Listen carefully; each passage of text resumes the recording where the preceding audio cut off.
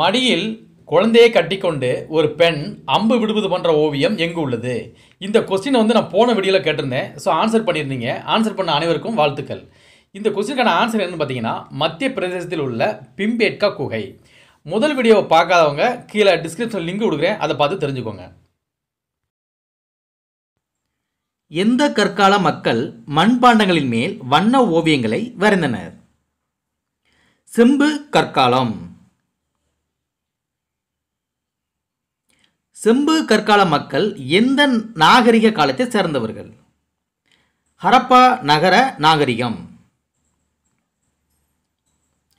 எந்த கால நாகரிகம் இரும்பு காலத்தை சார்ந்தவை? பிந்தைய வேதகால நாகரிகம். புதிய கற்கால கருவிகள் கிடைக்கும் தாண்டிக்குடி எங்கு உள்ளது? கொடைக்கானல் மலை. இரும்பு பிளஸ் குரோமியம் ரெண்டும் சேர்ந்தது எந்த உலோகம்? செம்பு பிளஸ் வெள்ளியம் சேர்ந்தது எந்த உலோகம்? சில்வர் வெண்கலம். செம்பு பிளஸ் துத்தநாகம் இரும்பு பிளஸ் மாங்கனீசு இந்த ரெண்டு உலோகங்களையும் சேர்ந்தது எந்த உலோகத்தை தரும்? பித்தளை எக்கு முதலில் பயன்படுத்திய உலோகம் எது? எந்த காலத்தில்? செம்பு புதிய கற்காலம். முதலில் பயன்படுத்திய உலோகம் செம்பு.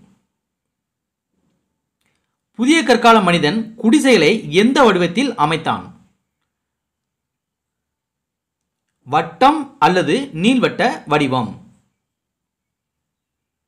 புதிய கற்கால மனிதன் எந்த தொழிலை செய்தான்? பயிர் தொழில் விவசாயம். தமிழ்நாட்டில் புதிய கற்கால கருவிகள் கிடைத்துள்ள இடங்கள் எவை? திருநெல்வேலி தாண்டிக்குடி புதுக்கோட்டை திருச்சி சேலம். இந்த தாண்டிக்குடி தான் கொடைக்கானல் மலைப்பகுதியில் இருக்கு.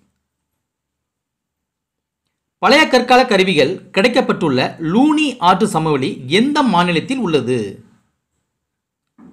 ராஜஸ்தான். பழைய கற்கால கருவிகள் கிடைக்கப்பட்டுள்ள பாகல்கோட் எந்த மாநிலத்தில் உள்ளது? கர்நாடகம்.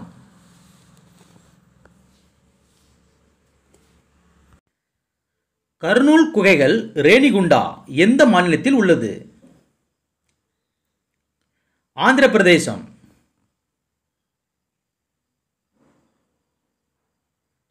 தமிழ்நாட்டில் பழைய கற்கால கருவிகள் கிடைக்கப்பட்டுள்ள இடங்கள் எவை? வடமதுரை அத்திரம்பாக்கம் பல்லாவரம் காஞ்சிபுரம் வேலூர் திருவள்ளூர். மனிதன் முதலில் பழக்கிய விலங்கு எது? நாய்.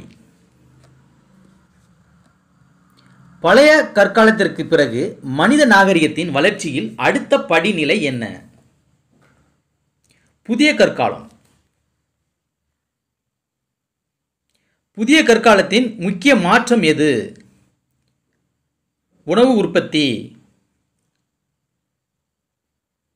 எந்த கற்கால மனிதன் சக்கரத்தை கண்டுபிடித்தான்? எந்த கற்கால மனிதன் சக்கரத்தை கண்டுபிடித்தான்? புதிய கற்கால மனிதன்.